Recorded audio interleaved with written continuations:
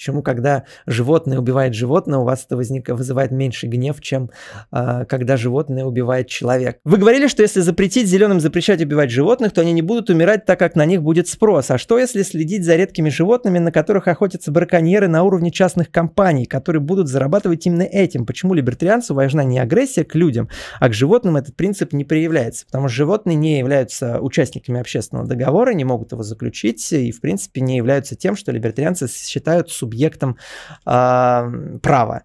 Так как они не являются субъектом права, правовые нормы к животным, разумеется, при, при, применяться не могут. Животное – это объект.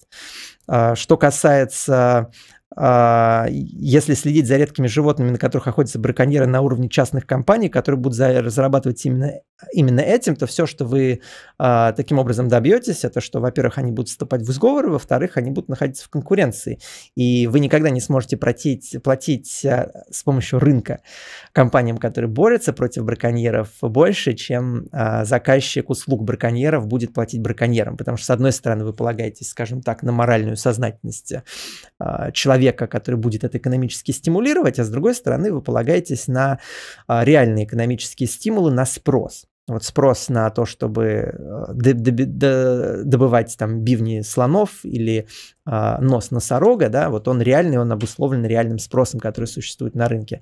А спрос на то, чтобы побороться с этими браконьерами, подобного масштаба иметь не будет, тем более, если вы никаким образом не будете вмешиваться, э, тем более, если государство в это не будет вмешиваться. Даже когда вмешивается государство, все равно э, э, стимул несопоставимый, а уж если убрать государство, они тем более будут несопоставимы. Поэтому ответ очень простой. А животные не являются субъектами права. Ну что может быть очевидно? По той же причине, почему брокколи не является субъектом права, по той же причине носорог субъектом права не является. Исходя из ответа на вопрос в начале стрима, получается, если я хочу защитить животных от насилия, то либертарианство мне не подходит. Носороги, в отличие от брокколи, могут испытывать боль а, и страдания.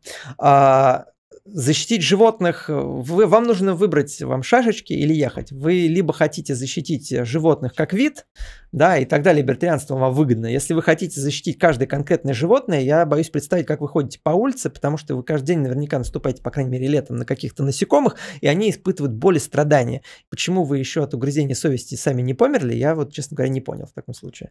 А, расскажите мне, я с удовольствием продолжу дискуссию, но мне вот интересно, мне это противоречие в левых, а, в, прошу прощения, в зоозащитниках всегда интересовало. Вот вы ходите по улице, вы убиваете просто своим существованием миллионы живых существ. И почему а, насекомое как-то заслуживает меньше, меньше, меньше симпатии с вашей точки зрения, чем носорог, например. Да, ну хорошо, насекомое вы можете сказать, что у них там какая-то более низкая нервная система, да, но в дикой природе животные жрут друг друга. Почему, когда животное убивает животное, у вас это возник, вызывает меньший гнев, чем э, когда животное убивает человека? Почему вы выносите человека из царства животных? Я вот э, абсолютно не склонен. Я считаю, что человек часть природы, это часть животного царства, и не нужно в этом смысле каких-то различий проводить между нами. Мы подвержены тем же самым страстям. Так что ответьте,